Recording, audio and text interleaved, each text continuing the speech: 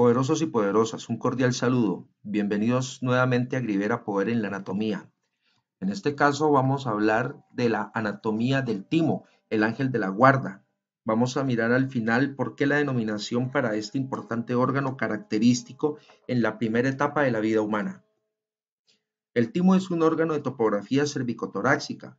Eso significa que una parte del timo la vamos a ubicar en la región más inferior y anterior del cuello.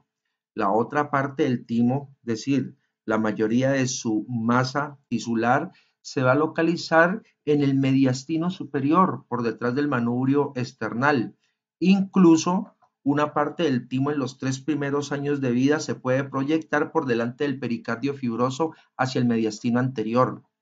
Es considerado un órgano linfoide primario, tiene propiedades inmunes, embriológicamente se origina a expensas del tercer arco faringio y tiene propiedades de secreción endocrina también durante la primera etapa de la vida.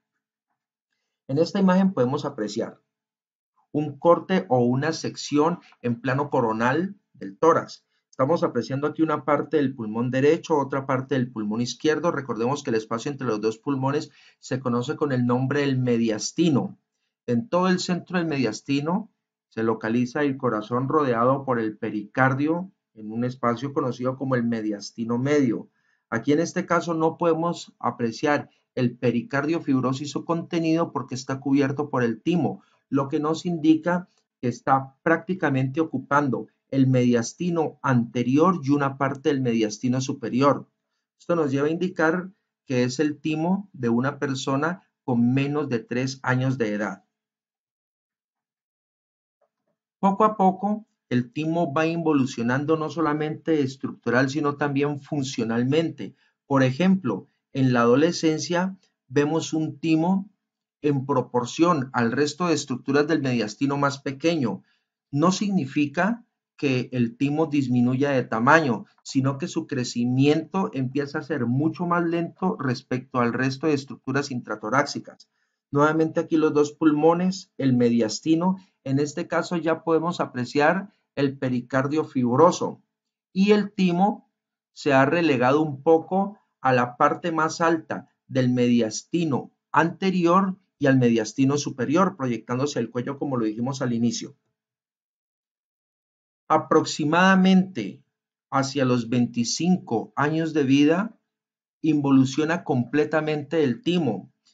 Queda cubierto por un tejido adiposo en la parte más alta del mediastino superior por delante de la vena cava superior del tronco pulmonar y el arco aórtico, formando esta estructura conocida como la grasa retroesternal de Waldeyer, el epónimo que se le ha dado. Realmente es un tejido adiposo y no tiene ningún valor de tipo funcional.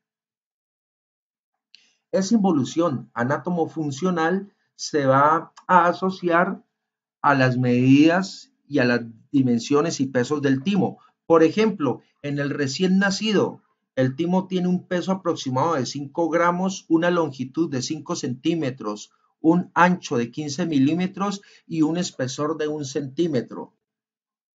Va disminuyendo poco a poco, pero en los primeros tres años de vida, el timo va ganando aproximadamente 2 gramos cada año.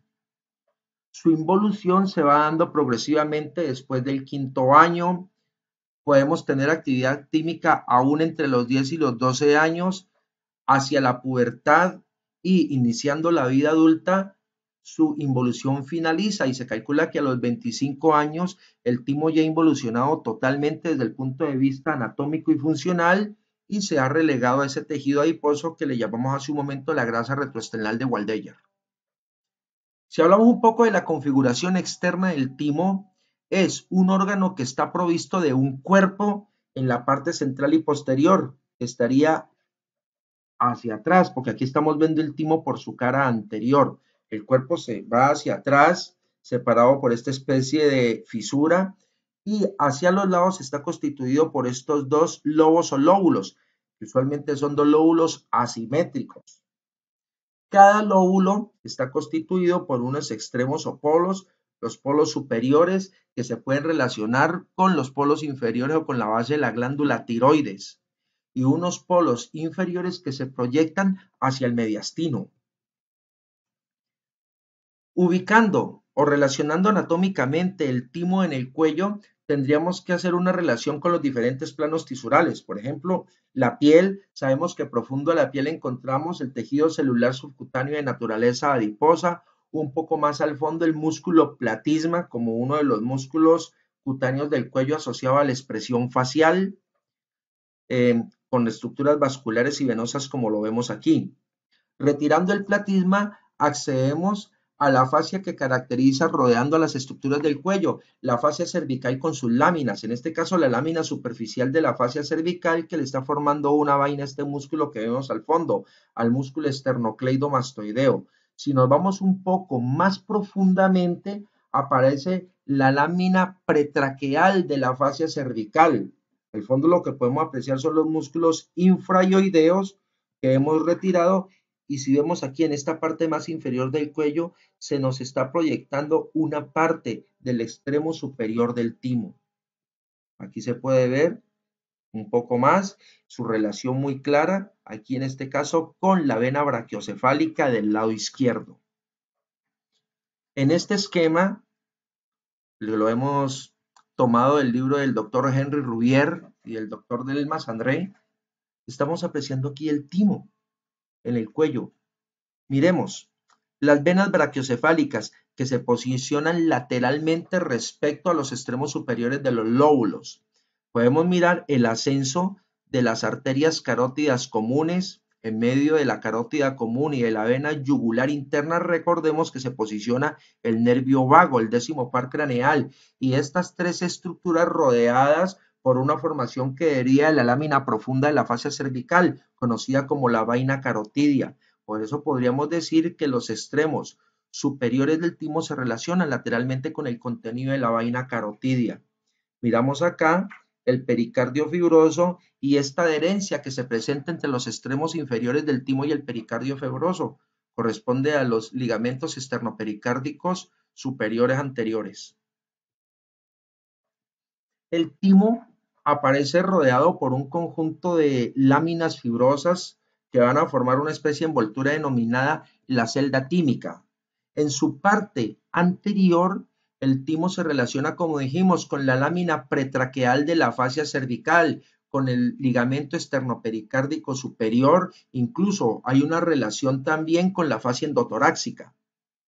Posteriormente, el timo en el cuello se puede relacionar con la fascia cervical, ahora vamos a ver un poco con la vaina carotidia, con una fascia tiropericárdica que lo va a colar al pericardio fibroso, como lo estamos apreciando aquí. En la parte lateral y superior, con la vaina carotidia. Lateral e inferiormente con un tejido conectivo mediastinal que estaría rodeando a las venas brachiocefálicas, estaría en relación con la clavícula, con el primer cartílago costal y primera costilla. En este plastrón visceral podemos apreciar aquí la tráquea, el sistema de las carótidas comunes, la glándula tiroides, podemos apreciar aquí el timo y su relación acá abajo, el corazón rodeado por pericardio. En esta imagen podemos apreciar la relación de los lóbulos del timo con los segmentos broncopulmonares. En este caso, en el lado derecho, con el apical, en el lado izquierdo con el apico posterior, inferiormente con el pericardio fibroso. Respecto a vascularización, las arterias del timo pues van a ser tomadas de las satélites que se encuentren en esos puntos. Aquí estamos viendo los extremos superiores del timo. Reciben sangre de ramas de la primera rama de la carótida externa que corresponde a la arteria tiroidea superior.